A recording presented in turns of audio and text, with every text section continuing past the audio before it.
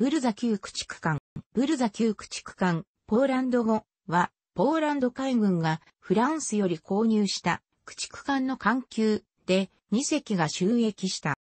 第一次世界大戦後、ポーランド軍は西方のかつての大国ドイツや東方のソ連へ対抗するべく、列強からの援助を得て陸軍は、騎兵隊や装甲列車、空軍は国産の戦闘機や爆撃機など数は少ないものの優太戦力を揃えつつあった。しかし、海上戦力では未だ発展途上の段階で、ベルサイユ条約の軍備制限条項によって、かつてのドイツ帝国海軍、カイザーリーシェイマリーンとは、比較にならないほど弱体させられた、ワイマールドイツ海軍、とはいえ、巡路級戦艦2隻に、巡洋艦6隻と旧式駆逐艦十数隻の陣容は依然として、ポーランド海軍にとっては脅威であった。第一次大戦後にフランスと交わした同盟規約には、フランス海軍は巡洋艦船隊をバルト海に派遣する約束があり、その後には装甲巡洋艦2隻、軽巡洋艦4隻、駆逐4隻、潜水艦3隻へと強化された。しかし、自国の防衛を同盟国任せにはできないことを経験則的に知っていたポーランド海軍は1924年に海軍整備計画を発表した。その計画は14年間に巡洋艦2隻、駆逐艦6隻、水雷艇と潜水艦を12ずつ整備するという意欲的なものであった。そして、その計画の第一陣として1926年4月にフランスに発注されたのが本級ことブルザ級である。同盟国ポーランドから本型の建造を依頼されたフランスは基本設計を駆逐艦、ブーラスク級に取った。この頃のフランス海軍では、第一次大戦からの戦訓で、外洋航行も可能な艦隊水雷艇の整備に取り組んでいた。タイプシップとなったブーラスク級は外洋航行能力に有効な鋭く前方に伸びたクリッパーバウト高い監視還元を持つ船体に13センチメートル単装砲を4門という十分な火力を持ち33.4ノットの連続航行が可能な信頼性ある機関をシフト配置に積んだ高性能艦であった。船体形状はこの当時のフランス駆逐艦に用いられた戦手楼型船体でクリッパーバウ型の艦首から13センチメートル40口径速射砲棒立てのついた単装砲画を背負い式で2機、風雪厳しいバルト海での運用に耐える重厚な箱型の環境後部には三脚型の全部マストが立ち、船体中央部に後方に向けやや傾斜した3本煙突が1番煙突と2番煙突の間がシフト配置のためにやや離さて立つ。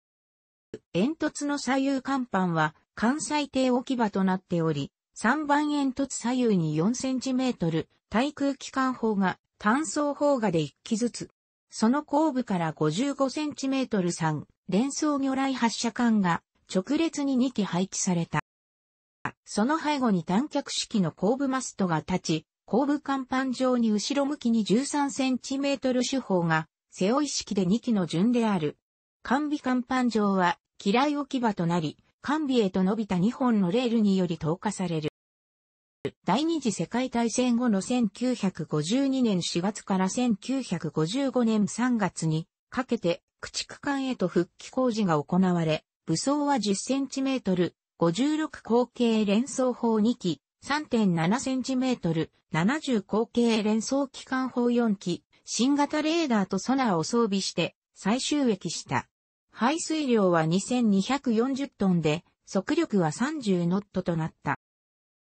本艦の手法はフランスの兵器メーカーのシュナイダー社が作成した M1924-13 センチメートル40口径速射砲である。この砲は毎分後から6発を発射でき、重量32から 34.85kg の砲弾を行角35度で最大射程は18,700メートルまで届かせることができ、射程1万メートルから80ミリメートルの走行を貫通する能力を持っていた。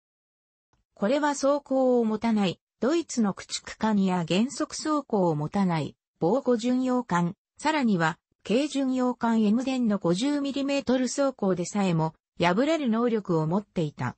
これを単装砲画で全甲板に2機、5甲板に2機配置した。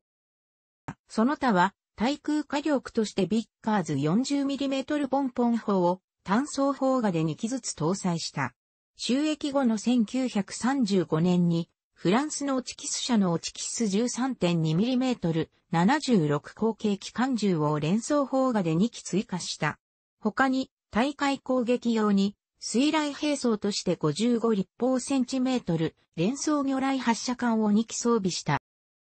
第二次世界大戦中の1940年にブルザは2番55センチメートル3連装魚雷発射管1機を撤去して跡地にアームストロング7.62センチメートル、45口径広角砲単装砲画で1機と、甲板上に12.7ミリメートル、62口径、連装機14機を追加した。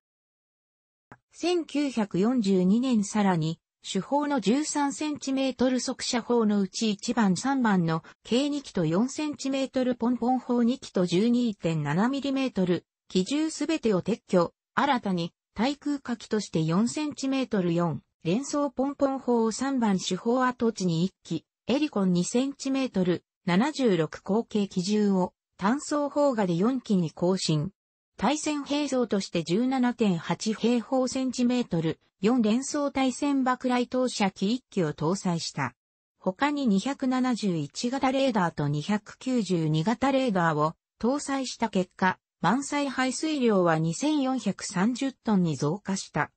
1943年にエリコン 2cm 単装機銃2丁が追加装備された。ボイラーは土天無式重油戦勝艦3機にパーソンズ式ギヤードタービン2機二軸推進で最大出力 33000HP 速力33ノットを発揮した。速力15ノットで航続距離は3000海里と計算された。